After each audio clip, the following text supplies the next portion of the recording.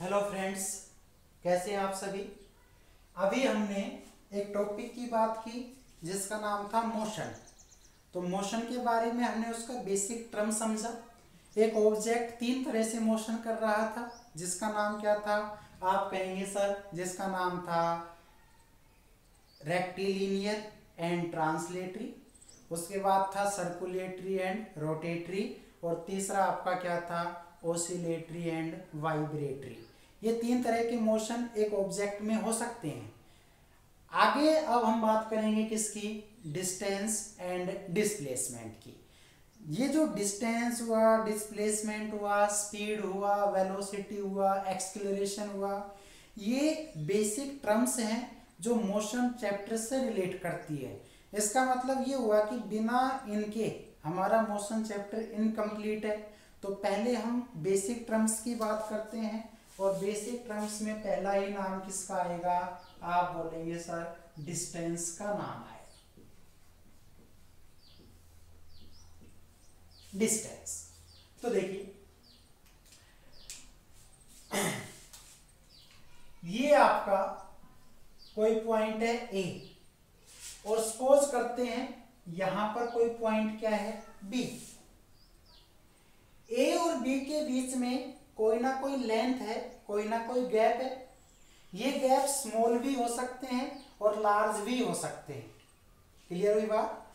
तो अगर मैं आपसे कहूँ कि भाई ये वे है, ऐसे घूम के कैसे भी जा सकता है ये रास्ता है?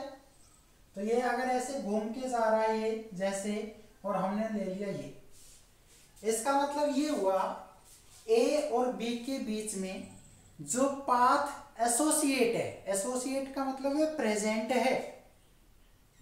ए और बी के बीच में जो पाथ हमेशा ऑलवेज क्या हो एसोसिएट हो, उसी को ही हम क्या बोलते हैं डिस्टेंस बोलते हैं। ध्यान से समझिएगा, यहाँ से लेकर यहाँ तक, ये एक पाथ है। तो मैंने कहा एक रास्ता है तो मैंने इस क्रम को लिख दिया पाथ लेंथ और मैं ये जानता हूँ, ये जो पाथ लेंथ है, इसके अलावा इस डायग्राम में कोई दूसरा नहीं रास्ता। तो यही मेरी क्या हो जाएगी? आप क्या कहेंगे सर एक्चुअल लेंथ हो जाएगी। और जब एक्चुअल लेंथ हो गई तो यही है और एक वर्ड और हो सकता है, और जिसके लिए हम यूज़ कर रहे हैं टोटल लेंथ क्लियर हुई बात? तो पाथ लेंथ बोल दो। एक्चुअल लेंथ बोल दो, या टोटल लेंथ बोल दो, या डिस्टेंस बोल दो, ये सारी बातें एक ही हैं। क्लियर हुई बात? अब आप चाहें तो ए से बी की तरफ़ जा सकते थे, आप चाहें तो बी से ए की तरफ़ भी आ सकते थे।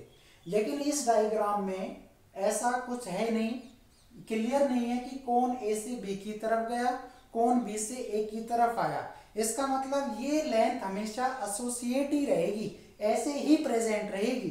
और ऐसे ही प्रेजेंट रहेगी तो क्या है? डिस्टेंस क्लियर हुई बात? तो अगर मैं ये कह दूँ, क्या टोटल लेंथ और एक्चुअल लेंथ और path length between two points.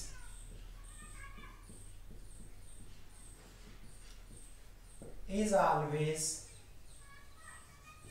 called उसी को हम क्या बोल देते हैं? आप बोलेंगे, सर, उसी को हम क्या बोल देंगे? डिस्टेंस दूसरी बात देखिएगा, हमारी जो डिस्टेंस है, वो कभी भी ज़ीरो नहीं हो सकती। डिस्टेंस कभी भी ज़ीरो नहीं हो सकती। क्यों नहीं हो सकती? क्योंकि सर, अगर मैं इनिशियल पोजीशन हूँ और कोई फाइनल पोजीशन है। और आपके बीच में थोड़ा सा भी गैप है। प्रेजेंट है मिनिमम ही सही, लेकिन है तो सही। वो ज़ीरो तो नहीं है कि बिल्कुल टच होके खड़े हैं, और जब बिल्कुल टच होके खड़े हो जाएँगे तो इसका मतलब हमारे बीच गैप है ही नहीं। तो डिस्टेंस है ही नहीं।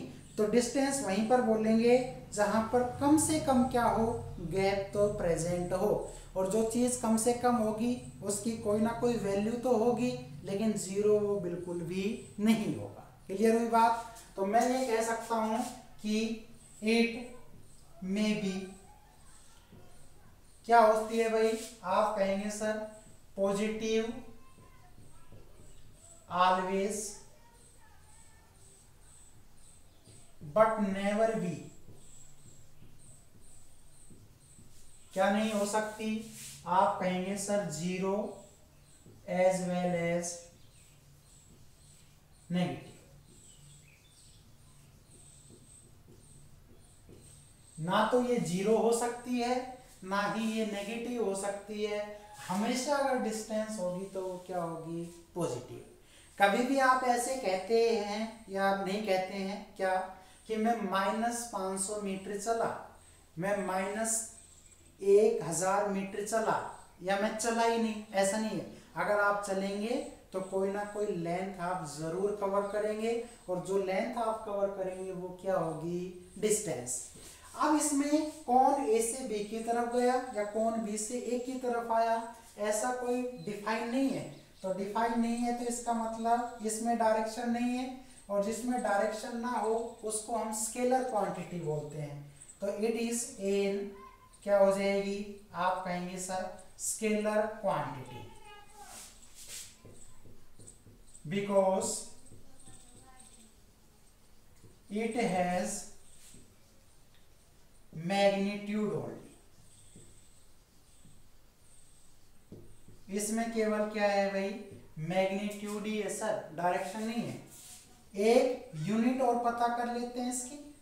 तो देखिए, आप कहेंगे सर इन एसआई सिस्टम यहाँ पे एसआई की जो फुल फॉर्म है, उसका नाम है स्टैंडर्ड इंटरनेशनल तो एसआई सिस्टम में जनरली हम इसको किसमें मापते हैं? मीटर में ही मापते हैं।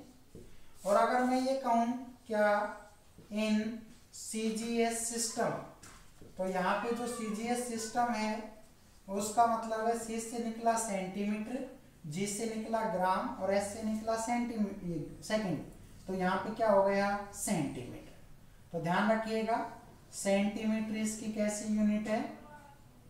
आप कहेंगे, सर सेंटीमीटर तो सीजीएस यूनिट है, जबकि इसकी एसआई यूनिट क्या है? मीटर।